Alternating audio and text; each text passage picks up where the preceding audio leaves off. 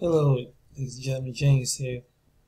Um, this is a video um, that entitled "The Holy Spirit versus the Kundalini Spirit," basically the prayer. And these are the images, and, and what is um, basically the image of the Holy Spirit. Which you know in church that it always the this is the image of the Holy Spirit.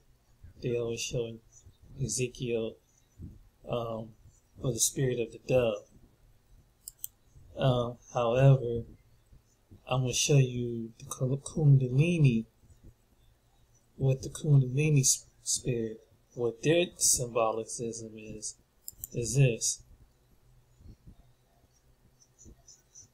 This is the Kundalini spirit, serpent power.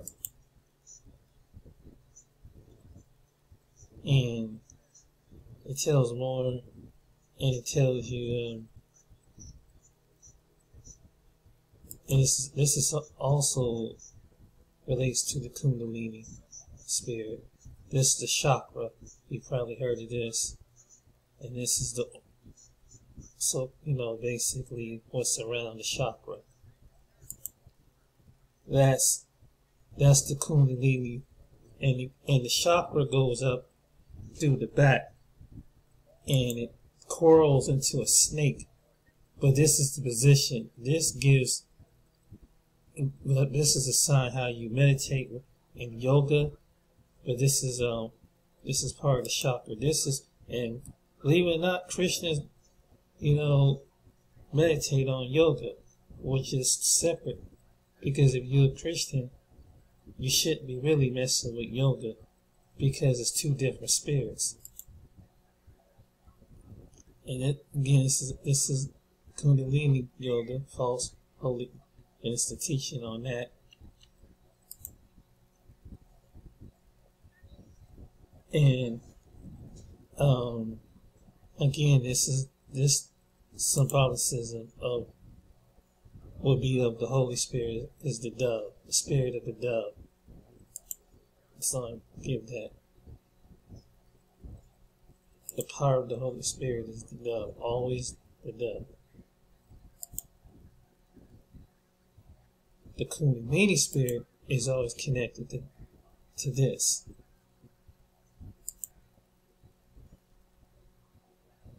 So whenever you do yoga, people, you know, Christians do yoga or something like that, you you are in, you you have the conflict in the spirit realm. There's a conflict between the two spirits. Because the, the main spirit, which is of Christ, which is the Holy Spirit, is supposed to govern the spirit. But if you do yoga, whatever, that's another spirit. Which is, when you do this, and see this, see this right here? What they call meditation? This is, a, it, it curls like a snake. That's a spirit that curls like from the base of your spine to top of your head. So all the people who do yoga, who who don't know about this, basically you in in the spirit realm, this is happening to your spine. And it's sun worship. All these different positions are sun worship. And poses that go back to ancient times these are, and everybody, and it, unfortunately, there's churches are getting to this. Strengthen your aura or your kundalini. That's the spirit around it. The Holy Spirit has nothing, the Spirit of Christ has nothing to do with this spirit. It's the enemy of God that takes over. And what this spirit does, it mimics Christ, it mimics the Holy Spirit. When this, um, certain ways that in, in, its, in its trickeries to get into church and try to people think that it is of God. And that's why it's good to allow the Spirit of God to let you know what's moving in Him, and you would know by the scriptures. And, and it's a, a lot of this is infiltrating into the church, and this is dangerous. This is dangerous spiritually is dangerous.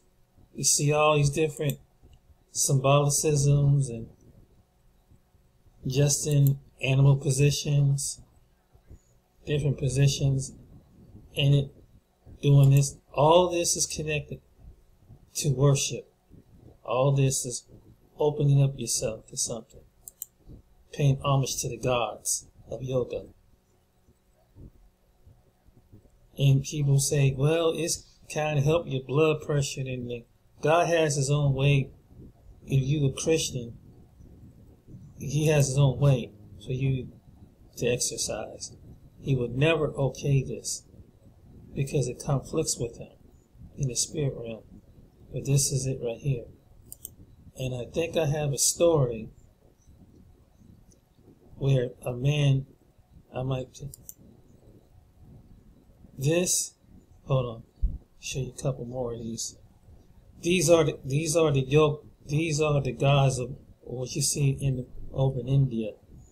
The, you know, all the, these all the different deities that do do yoga.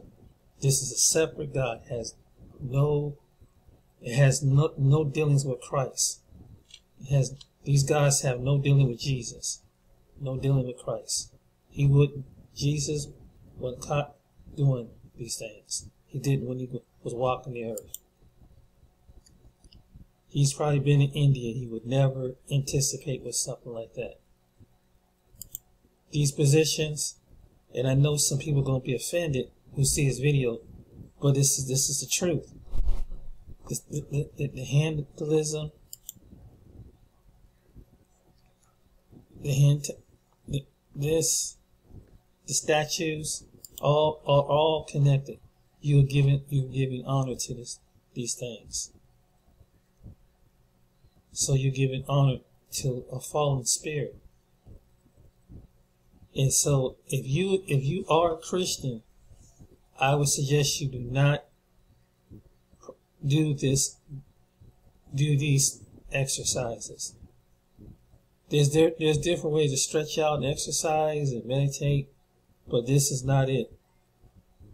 Because this this is connected. Go back deep ancient roots into it. It goes back really deep. And I heard a man's testimony, um, consult, consulting this. And he, he said, uh, and I don't know if he was in the yoga, but he said he had a spirit of the Kundalini spirit. and he was having problems. And what the Kundalini spirit was doing is making, making with laughter and gesture and locking noises and things, and uh, which which is was not of the Holy Spirit, but this spirit of Kundalini is trying to mimic itself to make people think that it is. That some pastors have wel- welcome it, it, it unknowingly. That's why you need a man of God to kind of allow God to bring revelation to it. This, and, and God will let you know when His Spirit is moving but it, it's not in agreement with this. And he don't share no glory because the Bible said he shares no glory.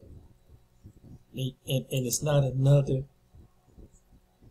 deity that this is you know this is not deity is not up in heaven. This these deities like this they're not in heaven. No offense to anybody, but this this a deity like this won't be in heaven.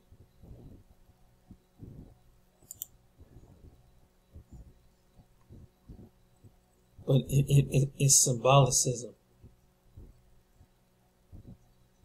And, uh, uh, but I just want, it's, you know, as a duty is to warn people is that hopefully someone will hear this video and they will take heed to this. Um, I know doctors say, well, that, that's part of it. They bring it to people. It's been said that it brings your blood pressure down. It helps as you relax. But God has certain ways for you to exercise and relax. And He definitely do not want you anticipating. Trust me. If you don't believe me, get in, get in your Bible, get in prayer, and seek Him. He will tell you Himself. And ask Him about this, what I'm telling you. Ask the Lord Himself. He will definitely tell you. And, he, and, and wait on for His answer. he will tell you himself what he what is of him and what goes against him and what is the meaning behind it.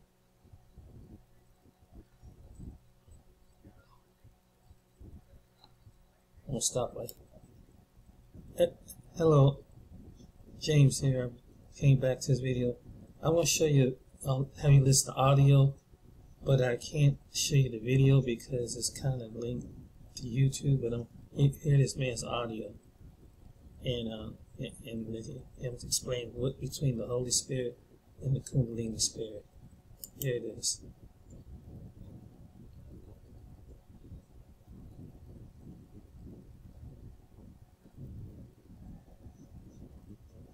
Spirit and the differences between that and the Holy Spirit. I'm going to lay the groundwork a little bit. I was saved in 2008, so between that time and my actual baptism of the Holy Spirit, it spanned about seven years. But in between that time, I was experiencing counterfeit spirits. Now, a lot of people in the Christian community call it a Kundalini spirit, which uh, stems from Hinduism. Um, they believe that the Kundalini spirit's this coiled up snake type of spirit. Now, it's not named in the Bible. It's only been given that name within the Christian community through this. So don't try to look it up. It, uh, the only, the closest thing that would come to it would be a spirit of error um, and spirit of Antichrist. When I first experienced it, I thought it was the baptism of the Holy Spirit. I truly did. But I had no frame of reference. Um, what would happen to me is that I would go into laughter. Now, this is where the whole thing that you might have heard of as holy laughter. That is not the Holy Spirit because I experienced that. Along with laughter, I got into locked positions. Now, what I mean by that is that for me, how that manifested is that my head would tip back, I would drop my jaw to the point of dislocation, and my head would be locked, and I would be like in this perpetual, uncontrollable laughter. I would be in that. But I had no frame of reference, and I heard a lot of Christians talking about that holy laughter was the, you know, the outpouring of the Holy Spirit, so I thought that's what that was. It wasn't until later on that I started seeing the other side of the Christian aisle saying that this is not what it is. It is a counterfeit spirit, and it is very prevalent in the churches today. Well, so what happened was is that I was saved, so I was under authority. You look in Mark chapter 16, verses 15 through 18, I had been saved, so I was under authority. So I, I told that thing to go away whatever it was, I didn't believe that you were who I thought you were. This Kundalini spirit. Let's just call it that for the sake of this video. So I told it to go away. It never came back. Um, much later on, I did get the baptism of the Holy Spirit. I spoke in tongues. Now, if you're watching this video and you haven't experienced the true baptism of the Holy Spirit, you are not going to understand because we are both coming from a different point of reference, a different experience um, with regard to this. On the outside, it can look the same. You know, counterfeits look a lot like the original. You see people who have a true outpouring of the Holy Spirit. They have joy and they have all of this stuff that's going on. And it can look like uncontrollable laughter. It can look like speaking in tongues and a lot of manifestations therein. But I'm here to tell you, as one who has experienced this Kundalini spirit firsthand, as one who has experienced and is experiencing the Holy Spirit, they are two completely different things. So we're going to go into what the differences are. The Kundalini spirit, with me and with others, there is uncontrolled laughter. It is based upon sensuality or the experience of the laughter.